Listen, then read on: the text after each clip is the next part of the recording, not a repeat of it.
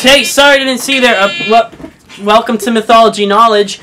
Today, um, I'm gonna start off by telling you a little bit about the underworld.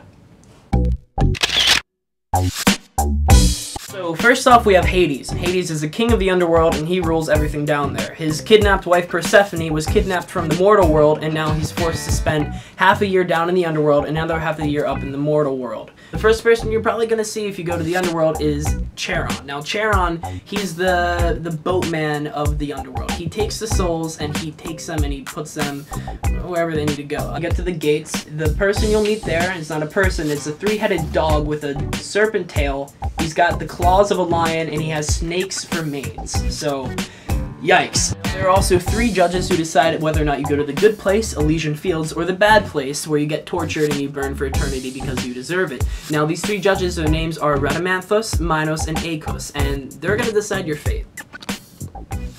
Hi, I'm Natalie, and I'm here to fill you in on every trait the underworld possesses. In Homer's version, the underworld is a dark, shadowy place where really only shadows live. Nothing at all is real there.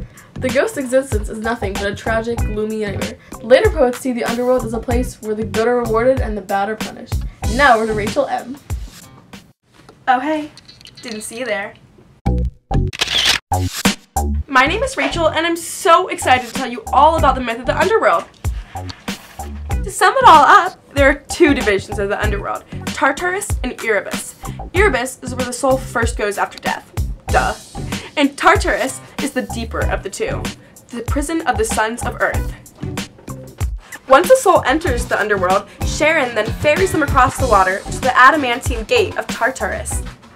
However, only souls who pay the fare with coins placed upon their lips when they die can enter the gate.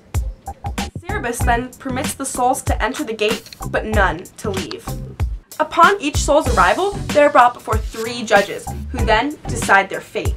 Now, over to Liv for the Underworld's geography. Hi everyone! I'm Liv, and I'm going to be explaining all of the geography in the Underworld today. The Underworld is thought to have been surrounded by five different rivers. The Acheron, the river of woe, the Cocytus, the river of lamentation, the Phlegethon, the river of fire, the Styx, the river of unbreakable oaths, where the gods took their vows, and the Lethe, the, the river of forgetfulness. Past these rivers is the gate guarded by Cerberus. Now into the character analysis.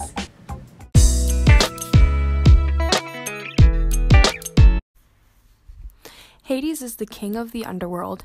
Son of Cronus and Rhea, and the brother of Zeus and Poseidon, Hades ruled the underworld.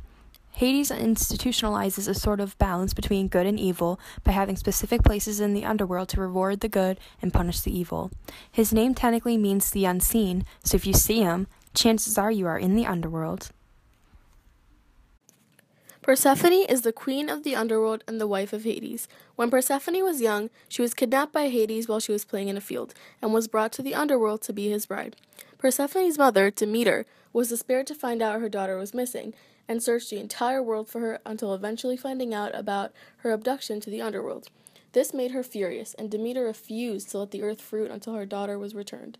Persephone was then forced to forever spend part of the year on Earth during spring and the other half in the underworld during winter.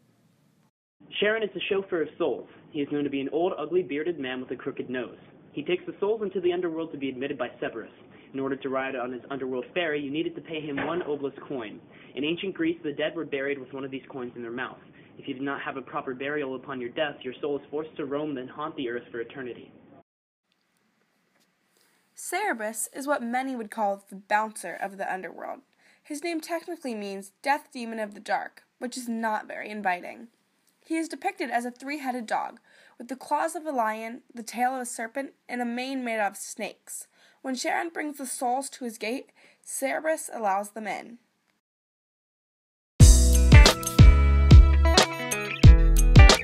Question number one Who is the king of the underworld? A. Hades. B. Poseidon, C. Zeus, or D. Robert Lynn?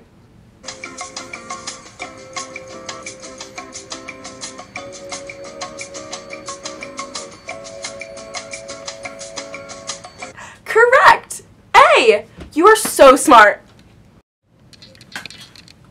Question number two. Which one of these rivers is found in the underworld? A. Mississippi, B. Styx, C. Thames, or D. Mr. Warnke.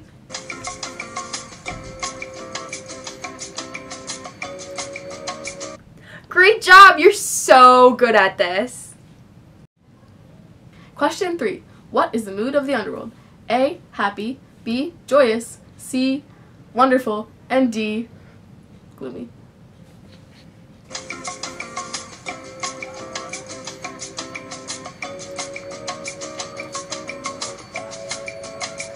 Great job! You did so well.